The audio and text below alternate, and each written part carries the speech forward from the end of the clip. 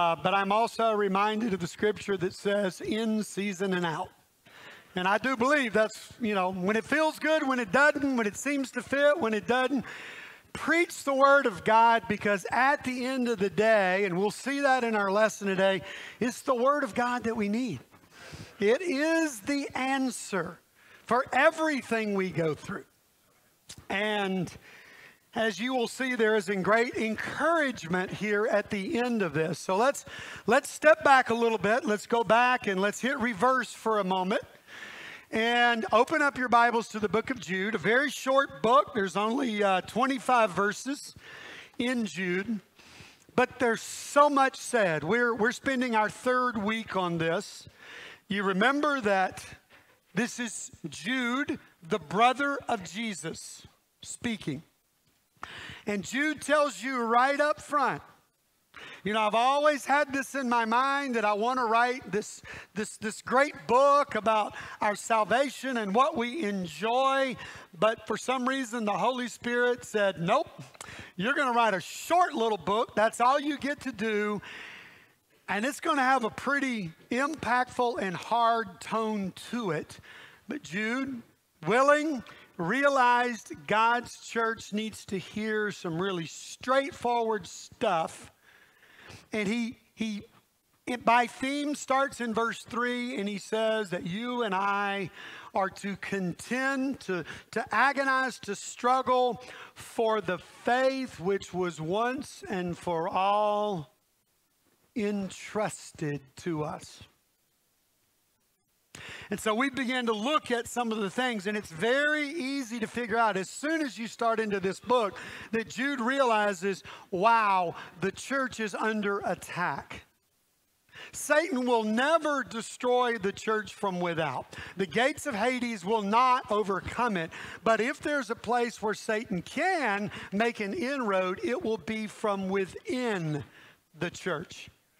And so Jude begins to describe that to us. And our illustration was when, you know, if somebody's going to break into your house, you'd like to know certain things because you can prepare yourself. And I believe that's what Jude is doing. He's saying, let me tell you about these people. And so over and over and over again, he uses this phrase, these men and then he describes them. And we've looked at all five or six of those.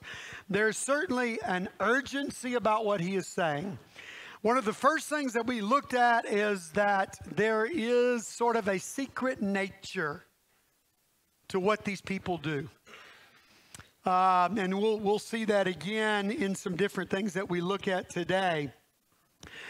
He talks about these people are people that exchange the grace of God and try to make it into a license for sin.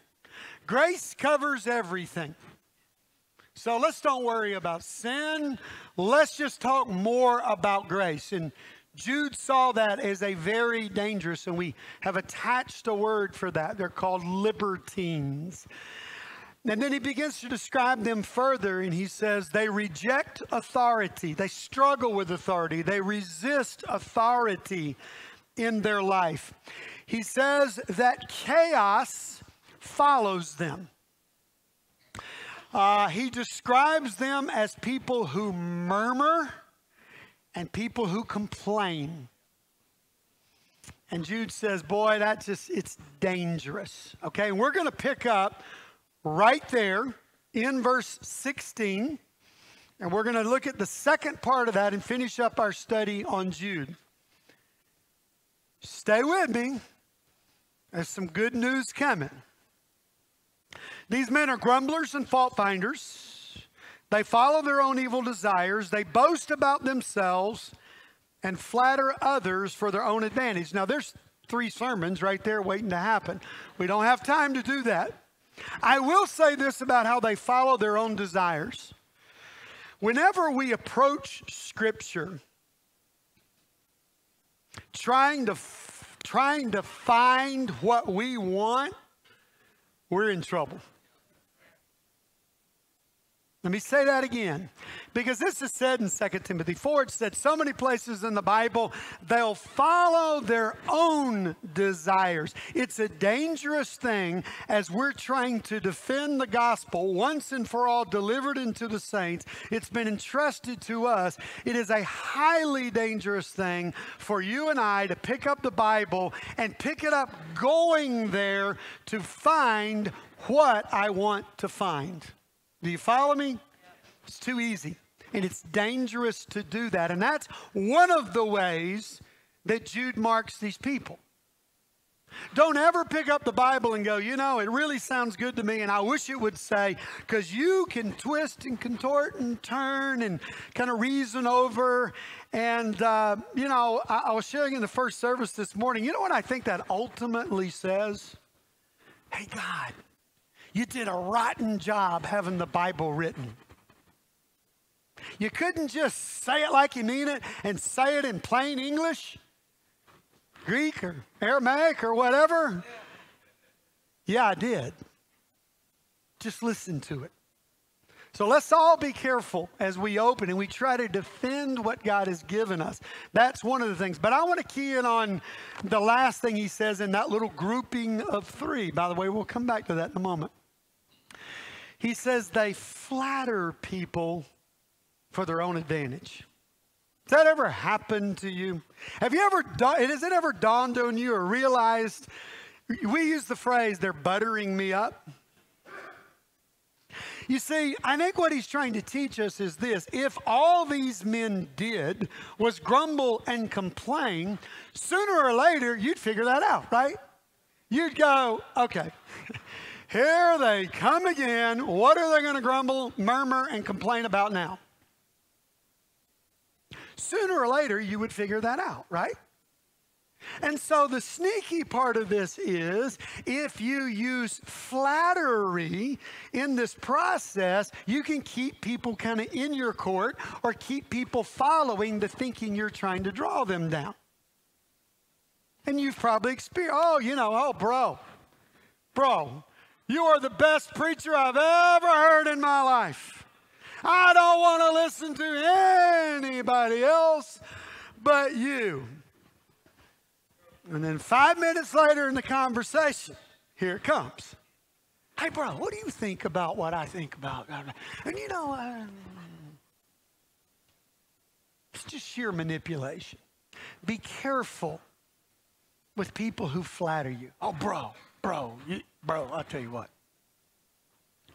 If you were in charge of this church, things would be different. You, you, you got it. You, you're on it, bro.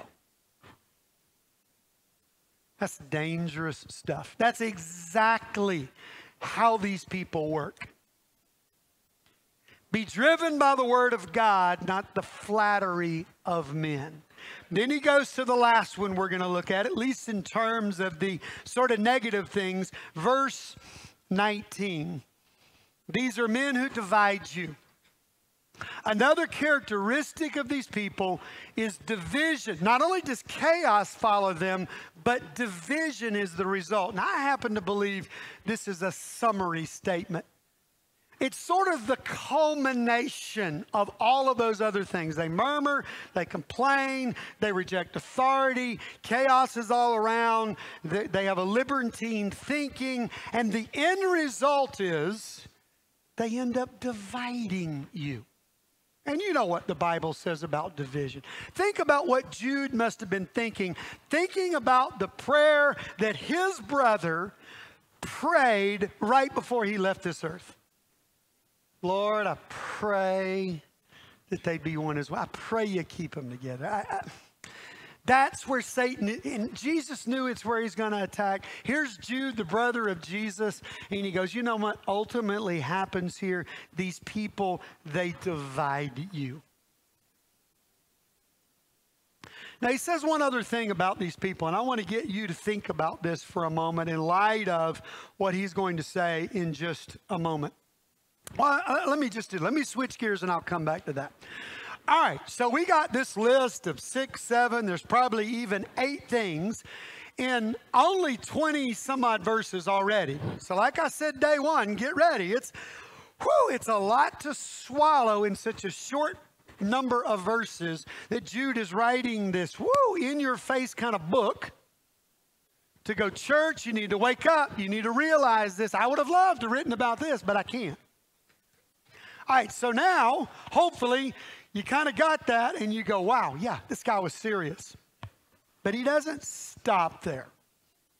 And this is the part we now need to take in and go, okay, then, whew. I mean, what are we going to do? Check IDs at the door and see if libertine is on their driver's license or something? I mean, it's not like they're going to announce themselves. And so it can kind of leave you feeling, wow, that's heavy. And, I, I and I'm supposed to defend this? Um, I will tell you that reading this book gives me more pause as a minister than just about anything I read in the Bible. And I think if you talk to some of our elders and our other ministers, they would say the same because one of the tasks given to us is to make sure this doesn't happen. Remember, we read the scripture last week out of Hebrews 13 obey your leaders and submit to their authority. They, they watch over you as men who must give account. I will tell you, I can lay awake thinking about this right here and go, it's our collective job as a leadership team to protect this church and to make sure we stay unified and to make sure we don't fall for these things that we've been studying for three weeks. And, and, and we don't do this lightly, and it is not sometimes without a very heavy heart. And so these next words are very encouraging, and I hope they will encourage you too to focus ourselves. Now, the first one he says, it's found in verse 20. Anytime you hear in one of the writers and he says, but you, what is he doing? He's changing the gear.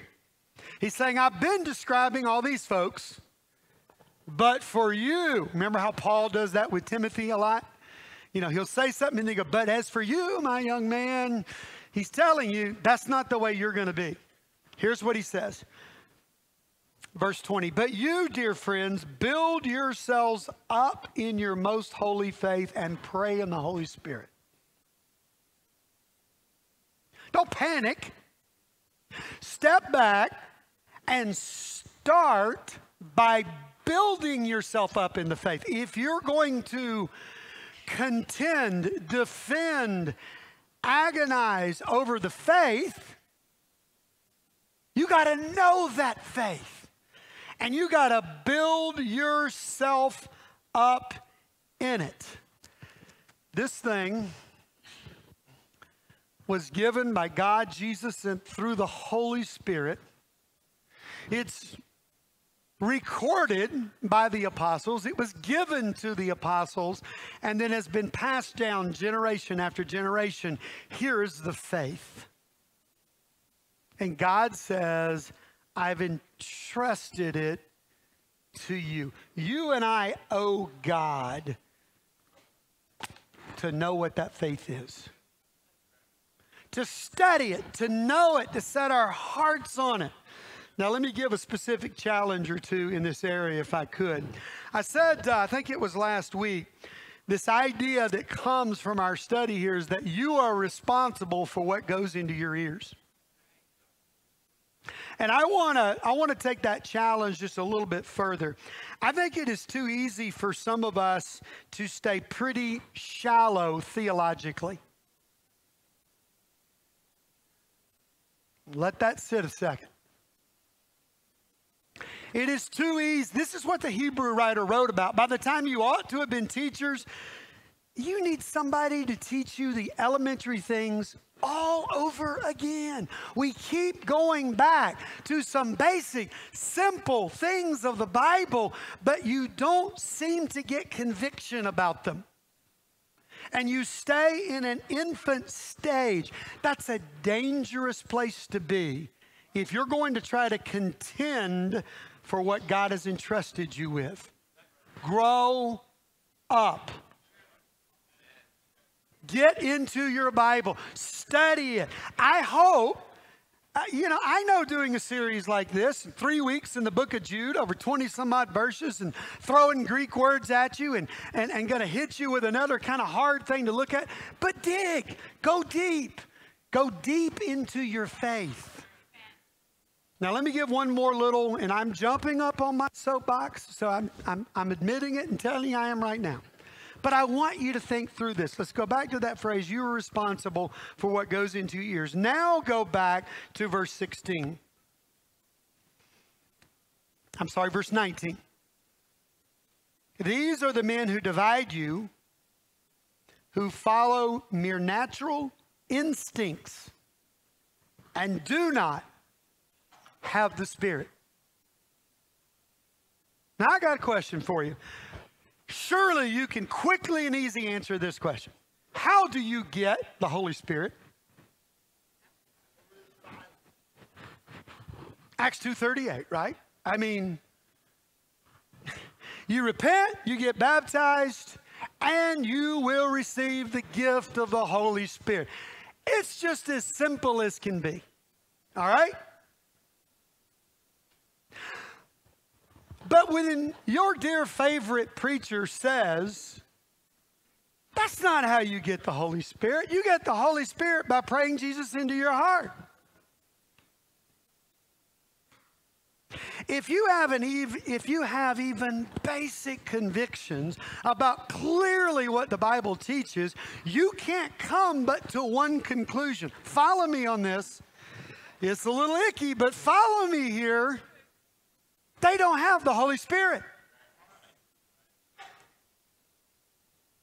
And yet, some of us consistently and constantly fill our minds with the teachings of people that you know, if you follow your Bible, do not have the Holy Spirit. Why would you do that? Now, let me be balanced.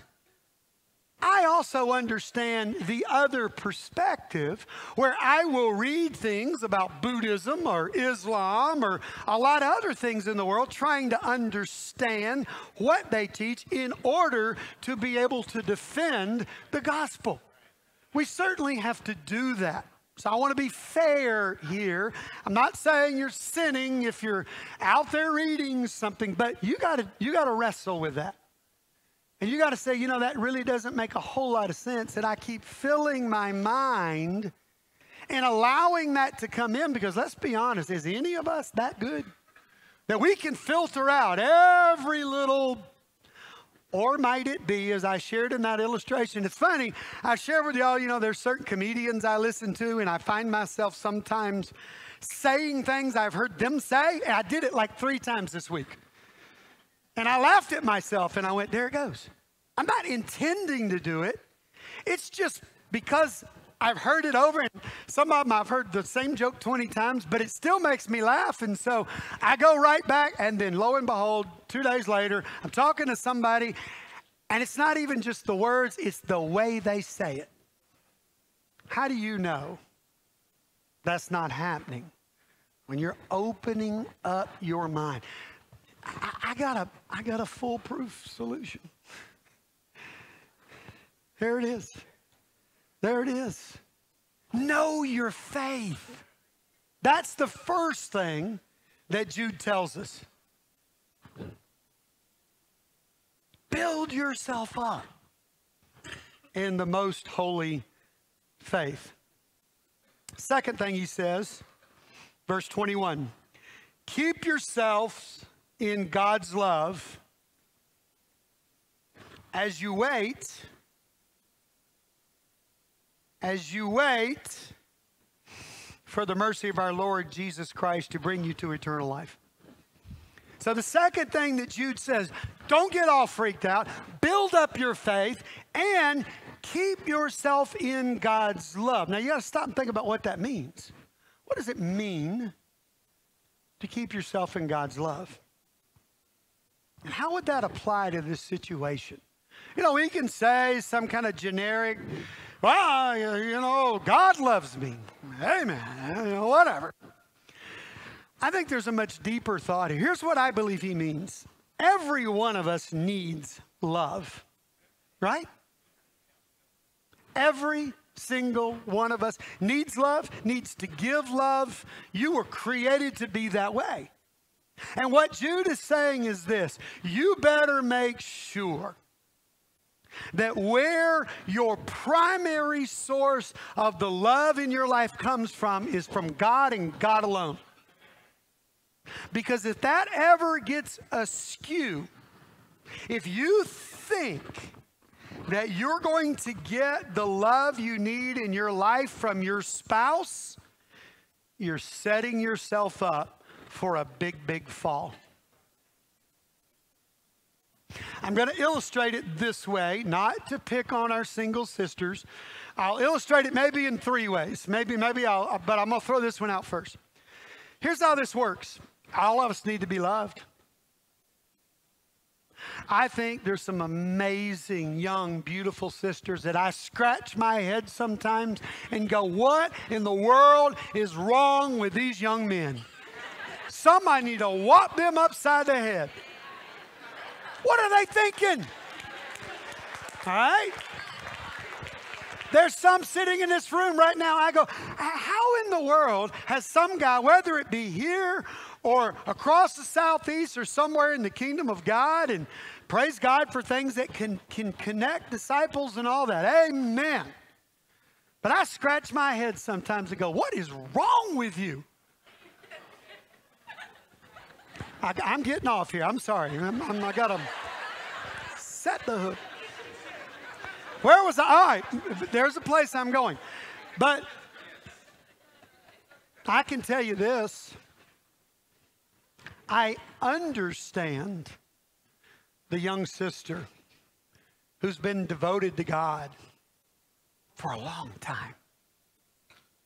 And this is why I emphasize this word right here. He says, Keep yourselves in God's love as you wait. Oh, we're not good at waiting, are we? and let's be honest. It's not just single sisters. We can get impatient in our jobs. We can get impatient with a lot of things. And we get tired of waiting. And we start seeking love someplace else. That's what he means by keep yourself in God's love. Because you're setting yourself up to fall for all kinds of things. Well, I guess I'll just go date this non Christian. I need love in my life. I'm hurting. I don't know. I've waited. I've waited. It doesn't look like God's going to answer my prayer. And I believe that's exactly what he's saying. Oh, you've got, because, and hey, it works in a church too. Because you go, well, Triangle Church ain't perfect. So, Con, you're right, it ain't perfect. Or, you know what?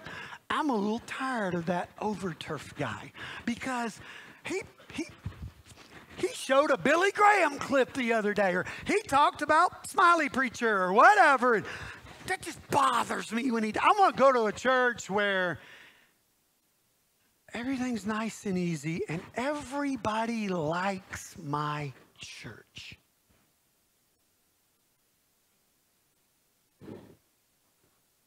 Okay, but doesn't your Bible say that in this world they hated me, they will hate you? In this world they persecuted me, they. You know what? If we're not getting some persecution, and you know if you've been around this church very long, we stand with the Bible on some issues that the world would look at us and go, You bigot, you this, you that, would call us every name in the book. And sooner or later, it can get pretty easy to go, You know what? I'll just go find me a church where I can believe anything I want to believe, or I can. I don't have to believe that. They'll they'll never preach about it. They'll just you know. And it can get so easy to go look for some place and go. I'm going to go where the world loves. It works in 20 different ways in our life. You you make the application to where you are. Here's what Jude says: You better keep God as your source of love or it will be so easy to follow one of these people that are saying, How about this? This sounds good. Why, yes, it does. That sounds good to me. Because you're not getting it from God. All right. Then he concludes whew, with a challenging piece of scripture. I'm going to read it first, and then I'm going to describe something that's happening here before we finish out with a beautiful, beautiful part of the Bible. Be merciful, verse 22 be merciful to those who doubt, snatch others from the fire and save them. To others show mercy mixed with fear, hating even the clothing by uh, clothing stained by corrupted flesh. Okay, this is one of the most difficult sections of scripture in the Bible. And I can't get real technical about it. I just don't have time, but I want to whet your appetite a little bit to go and take a look at it. Uh, these verses are contested in a lot of different ways because it, it's th- there's a lot of what we call in textual criticism variances. You know how the Bible was put together. We don't we don't have Paul or Jude's handwritten copy of the Bible. We have manuscripts. We have pieces of the Bible, and we have them hundreds sometimes over for one scripture. And it's very easy sometimes to take all of those and just put them all together, and you go, it's very obvious. We have a very accurate record. This particular group of scriptures is not that way. Now, shouldn't erode your confidence because we can go other places in the Bible and find exactly what we should do. But I just want you to see because there's some great disagreement about whether there are two or three categories of people that he's talking about. Okay? And there's really good reason for that. You can make a great argument in Greek out of either one of those. Not to get into all that, I would say, and one of the reasons that I land where the NIV has landed, and so as I believe the RSV, KJ, or uh, no KJV, I believe goes the other way, they group it into two groups of people. Now, I'll give you one of my arguments for this. Just about every, remember when I slipped in a while ago, there's three things you'd said about, remember I said I'd come back to that? Go see how many times he does that in this book. Remember the three guys' names that he called out, the stories he wanted to refer you back to? Three guys. Remember the characteristics that he gives in verses 12 through 13? Three things. Remember how many stories he tells to talk about their, their uh, rejecting of authority? Three stories. He loves to work in threes. So we get to the end of this book, and it appears that it's correct. Let's break those three down. It's very important because what he's going to do is tell us how to act towards these people. Number one, be merciful to those who doubt. Do you understand in all this discussion and all these things that go on in society and the church, and maybe we're discussing something, there's people in the middle of all that. They're young Christians or they're weak in their faith and they go, I don't know. I, I, I don't know what to think. I mean, if, if I listen to Doug Jacoby, he says this, but Steve Kinnard says this, and they're both good brothers. And, and, and so we can. Now, I don't believe, by the way, that's the context of Jude. Because the context of Jude is what they were teaching is dead wrong. I believe good brothers can disagree on certain things. What I want you to see is there's people that are in the middle of all this. And Jude is concerned about those people. He's writing to a church and he's saying, you gotta, you gotta contend for the faith, but you also have to care for that young, doubting disciple okay? Show them mercy. Help them along. We don't want them walking around, you know, flirting with false teaching, caught in the crossfire, confused. Take your time and help them. Then I believe he goes to the second category. He says, snatch others from the fire and save them. You think he was serious about this? He saw it as an issue of salvation. They need to be saved. This word uh, in Greek, it is the word harpazo, is translated, uh, at least in the NIV, let me see, snatch them. The word literally translated is take by force. Okay, so you go home this afternoon, the sun finally breaks out, amen. Um, and you look across the street and you realize your neighbor's house is on fire. smoke's billowing out of it. You know they're there, all their cars are there. You just saw them a while ago. Do you turn to your wife and go, honey, what do you think if we moseyed over to the Franks house? That's our neighbors across the street. And, and we just sort of checked up on them, see how they're doing today. And we walk up to the door and we, hello, it's, it's your friendly neighbors. It's Mr. Rogers. Here we are. Anybody home? Hello. Of course not. You're going to run as fast as you can run. You're going to slam on that door so loud, so hard, you're going to scream from the top of, top of your lungs. And if they don't answer that door quickly, you're going to knock it down, right? Or you're going to break through a window, you're going to go in, and you are going to take them by force and snatch them out of that fire. And that's exactly what Jude says to do. That's his terminology. There are other people that they kind of see where they're headed and they're being they're being deceived has been talked about so much. They're following false doctrine. They're listening to things that are messing them all up and they need someone to love them enough to be aggressive with them and to go, "Get over here. You are going to talk to me. What are you thinking? What are you doing? Get out of there." When's the last time you did that? I don't know about you, but I've watched way too many people walk away from this church. And I'm not sure we can, as a church, say we've made those kinds of efforts for people caught up in this battle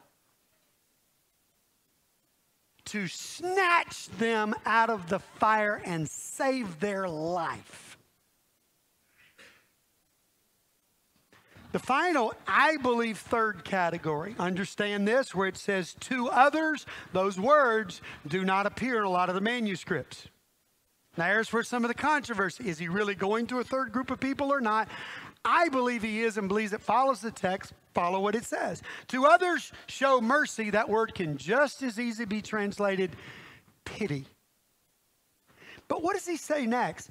Mixed with fear. You start dealing with these people, you better have some fear in your heart. It's a dangerous thing you're undertaking. And he says, hating even the clothing stained by corrupted flesh. Whatever that means, whatever picture, possibly a picture from the Old Testament, the inner garment uh, being stained by the sinful man. There's some picture that Jude is drawing, but whatever it is, it clearly communicates separation. Stay away, bro. Stay away. With fear, stay away. I believe it is a third category. I believe that's the people that Jude is talking about. These people that do these things, get them out of there.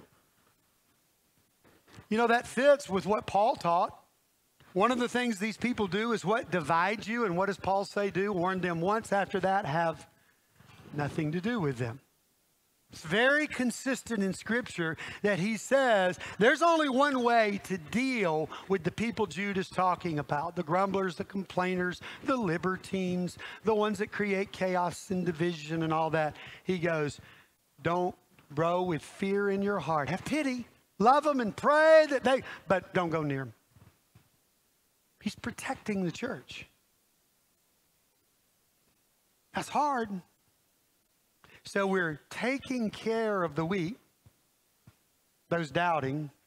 We're getting right in there with those that are being pulled away in their thinking and in their hearts, and we're loving them, but we're going to snatch them. And with those who are clearly going to teach this and do this and will not repent, don't touch them, bro. Don't touch them. That's some that's some meaty advice, isn't it? You're going to have to weigh on that. All right, let's get to the end. I love this part because I got to tell you, I have my days. And if you've ever led anybody, anywhere, anytime, you should have your days too to go. My goodness, am I up to the task? And praise God for the next few verses. To him who is able to keep you from falling, praise God. Now, by the way, why in the world can people say you can't fall from God if it's the very thing that He praises God for being our helper to keep us from falling? It's got to be possible. To Him who is able to keep you from falling and to present you before His glorious presence without fault. It's not up to me. Praise God that it's not up to me to figure it all out. You ever feel that? I guarantee you, if there's you're a leader sitting in this church, you felt that. I want to encourage you. I want to push you back to God and say, remember, to him who is able. He will see us through this. Do the right thing, have the right heart. I cannot know the number of times I've sat in a staff meeting or with the elders or all of us together, and the, the response in the room be, I don't know. So all we can do is pray that God will make it clear. Well, you know what? That's an okay place to be. As long as we remind ourselves, He is able. He'll work it out. It'll all come to fruition one way or the other. He'll figure it out. Then the last thing he says there, and with great joy. Now, I know the tone of the book is anti tolerance, it's, it's strong, it's hard. But it doesn't mean God wants us to walk around the fellowship, you know, scared of one another. It's not what I'm saying. With great joy, we live out and we keep defending what God has entrusted to us. Gary Hundley prayed in our prayer this morning, and I love this God, keep us to the end. Isn't that what we're after? What a great prayer. I don't want to come this far and to be led off into doctrinal or heart error or any way. I want to stay with God. He is able. Let's close with these questions. It's just a review. I want, don't worry, these will be posted on the internet. There's several of them. I want you to close your eyes. I don't want you to try to take notes. You can go get it later this afternoon. Let's conclude our study answering a lot of the questions that have been raised. All right? And if are y'all singing a song here at the end? Y'all quietly make your way up, but listen while you come, right? Do open your eyes as you walk, though, okay? Okay. Could you be on the edge of doctrinal or spiritual apostasy? Could you? Number two, do you resist fighting spiritual battles because they are not glamorous or enjoyable? Number three, are you drawn to cheap grace? Number four, is truth worth fighting for? Are you willing to dig to the source instead of just spraying air freshener on it? You remember our discussion about that. Am I taking responsibility for what goes in my ears? Could Satan be using me to hurt the body of Christ? Am I a joy to the leadership in my life? Am I frequently involved in conflict? Do I grumble? Do I complain? Do I fault find? Am I snatching the weak from the fire? And do I confront those who murmur, complain, divide, reject authority, and fault find. I think we've got 25 verses to put our hearts into and to ask ourselves, God, am I really, am I really defending what you have entrusted to me. God is able. God help us. Amen.